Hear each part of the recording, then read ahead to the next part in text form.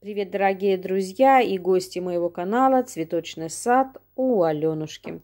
Тема сегодняшнего видео будет о вредителях мошки на растениях, на рассаде, на черенках, на комнатных растениях. Как от этого избавиться и от чего не бывают. Об этом мы сегодня поговорим. Вот такая красота растений приносит нам, конечно, только радость. Черенки наши укоренились, пошли в рост, распекированы по стаканчикам. Но среди такой красоты мы можем наблюдать, как летающие нож, мошки, ползающие по грунту черные мошки. Конечно, это не только раздражает, но и портит наши растения. От мошек нужно обязательно избавляться. От чего же они появляются? Я сталкивалась в, в этом сезоне, который прошел, мошки были, но нашла несколько методов, как избавиться от них, от чего не бывают, сделала свои выводы. Чаще всего мошки появляются, когда растения э, растут или пересажены, или высеяны в некачественный грунт. Может быть такое, что приобретая грунт в магазине, в нем уже могут быть даже личинки насекомых. Также причина очень распространенная, если в грунт, который мы готовим для пересадки или перевалки растений, с добавлением перегноя. То есть органика, она, конечно же, полезна для растений, но не стоит добавлять ее слишком много. Поэтому, когда делаете свой грунт, не переусердствуйте и э, не добавляйте много сильно органики, потому что это любимое лакомство таких насекомых. Э, также, когда такая главная, я считаю, даже причина, это от чего они далее начинают э, распространяться, начинают увеличиваться количестве мошек, это главная причина переувлажнения. Влага это любимая среда питания насекомых. Все цветы нужно поливать осторожно, чтобы не устраивать в горшке болото. Выбрать золотую середину, конечно, не сильно ее, э, их, то есть грунт этот не сильно пересушивать и не сильно переувлажнять. Можно для начала как бороться? Можно для начала сменить грунт. Если, конечно, вы наблюдаете, что э, грунт котором растут наши растения, атакуют с множеством э, по количеству мошек, э, то, конечно, желательно наше растение заменить на другой грунт, если такая возможность есть. Если такой возможности нет, и вы не хотите, то есть растение пересажено, не хотите уже э, грунт менять, какой есть, такой есть, то к нам придут на помощь жидкие инсектициды. И не только жидкие. Продаются они и в, э, в гранулированном виде. Я применяю либо Актара, либо Фитоверм, либо Молния. Актара нет, я ее использовала, правда, пакетик. Не могу на примере вам показать. Но вот такие средства есть. Это Фитоверм и Молния. Молния хорошо помогала. Вот последний раз я обрабатывала черенки, помогла, э, обработала черенки хризантемы. Поэтому я применяю такие препараты, бывают, как инсектициды. Их можно приобрести в любом магазине для садов.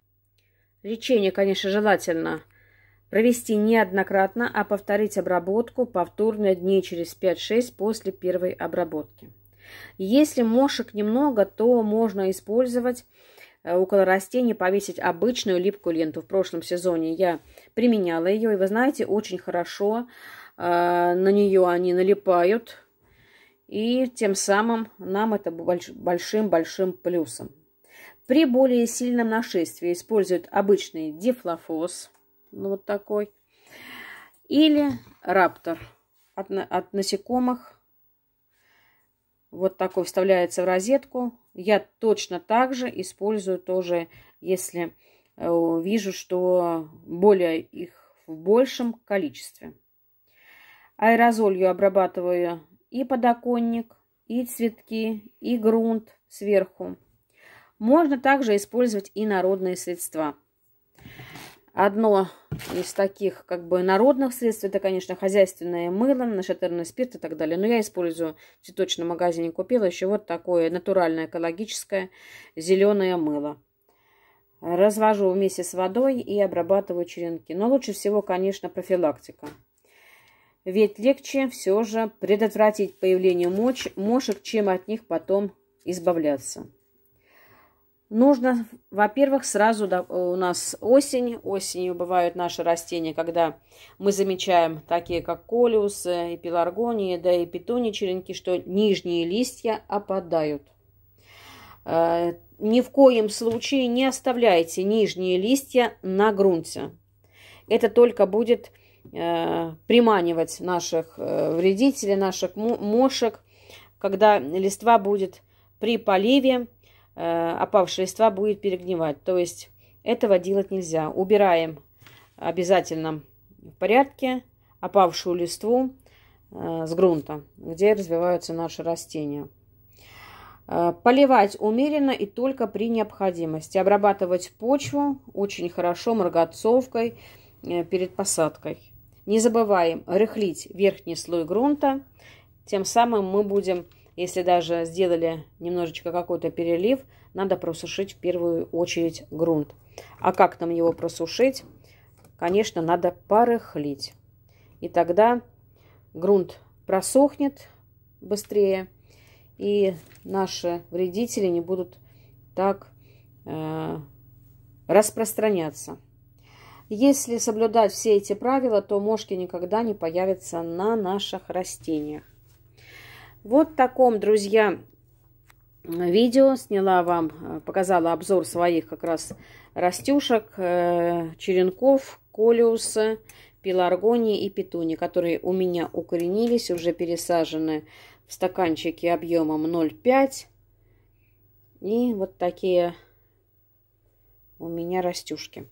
Но такая проблема как мошки на рассаде. Я думаю, такая проблема знакомим многим-многим садоводам и цветоводам, кто выращивает, особенно в доме, в квартире, растения. Либо это рассадным способом растения, либо это при помощи черенков.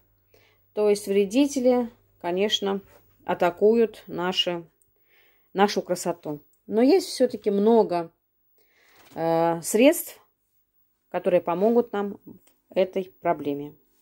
Ну вот и все, друзья. Понравилось видео, ставьте, вам, ставьте пальчик вверх, подписывайтесь на мой канал.